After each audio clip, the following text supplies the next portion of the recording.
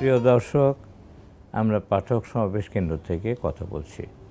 আজকে আমরা বঙ্গবন্ধু বিষয়ক একটি বই নিয়ে আলোচনা করব।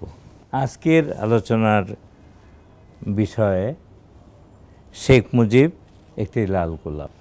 এই বইটিতে আমাদের দেশের বিখ্যাত প্রাবন্ধিকদের, চিন্তাবিদদের, প্রবন্ধ যেরকম সংকলিত হয়েছে কবিদের কবিতা সংকলিত হয়েছে, আলাপচারিতা আছে।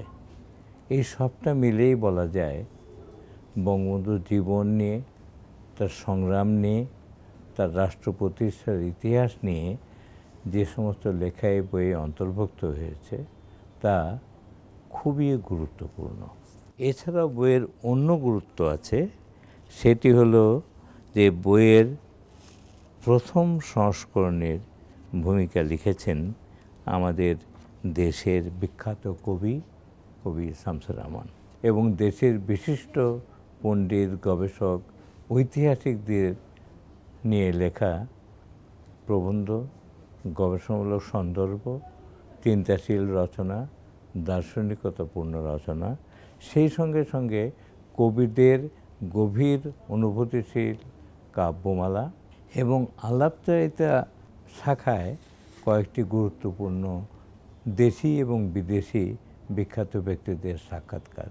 এই সব নিয়েই একটি অসাধারণ বই পরিকল্পিত হয়েছে, প্রকাশিত হয়েছে এবং বইটি বিপুলভাবে জনপ্রিয় হয়েছে।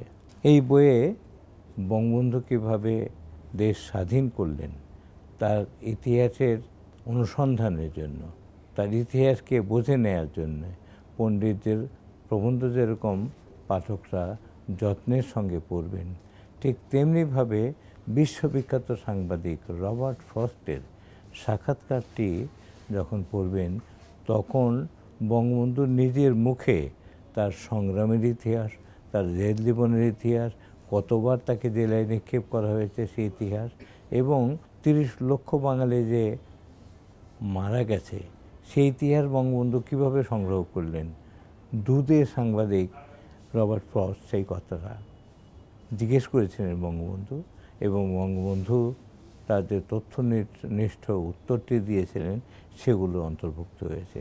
অতএব বলা যেতে পারে সব মিলিয়ে বঙ্গবন্ধু সম্পর্কে বিস্তৃতভাবে জানতে গেলে তার নিজের জীবনের কথা, তার সংগ্রামের ইতিহাসের কথা বাংলাদেশের মানুষকে গভীরভাবে ভালোবাসার কথা এবং মানুষকে ভালোবাসতে যেয়ে যে তাকে জীবনও দিতে হয়েছে, সেই সব কথা এই সমস্ত রচনায়, এই বইয়ের রচনায় যেভাবে উঠে এসেছে, সেটি বিশ্লেষণাত্মক, সেটি চিন্তাপূর্ণ এবং সেটি গবেষণামূলক। পাঠক, বঙ্গবন্ধুকে জানুন, বঙ্গবন্ধু সম্পর্কে বই পড়ুন, আপনারা ভালো থাকুন।